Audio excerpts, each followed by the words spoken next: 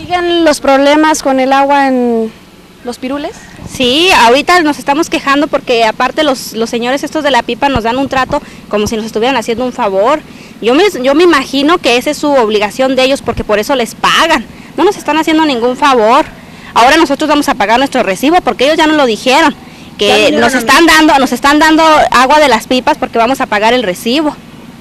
Entonces, es lo que le digo, nos dan dos tambos y quieren que con esos tambos aguantemos cuatro días, vienen y nada más le reparten a las personas que trabajan en el agua. De aquí, mire, de la esquina para allá trabajan en el agua, dos, dos personas. A ellos les dan su, su, su agua y a nosotros no. Ah, Nos tenemos que aguantar hasta que les da gana de volver a venir. ¿Cada cuándo están viniendo a, Ahorita no venían desde el día 4. Vienen, pues ahí estamos asomándonos temprano a ver si se ve la pipa y va a llegar. ¿Y ustedes cómo le estaban haciendo para...? para Mire, el yo, yo no- en lo personal yo lavo y junto el agua con la que enjuago y con esa hago mi quehacer y para el baño. No, no puedo bajarle del tinaco al, ba- al baño porque pues me la gasto la del tinaco y con qué baño a mis niños y yo.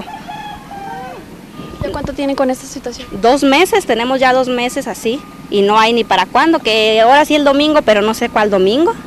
¿Les están dando respuesta? ¿Ya han solicitado, hablado con el presidente o en este caso con el cargado del agua? No, no, no han dicho para cuándo, no, no se dice para cuándo, que no, que se retrasaron los trabajos en el pozo y no hay para cuándo.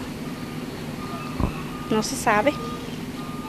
Ahora aparte el señor de la pipa viene borracho porque la gente por agradecerle de que le llene el tinaco le compra su caguamita y se emborracha y luego viene acá a tratar mal a uno, a remojarla porque pues él no sabe ni cómo está la manguera pesada, se la da a uno que es mujer, no puede con la manguera y le abre, él le vale, le abre a todo y uno todo, toda se remoja, igual él hace su tiradero de agua por donde quiera.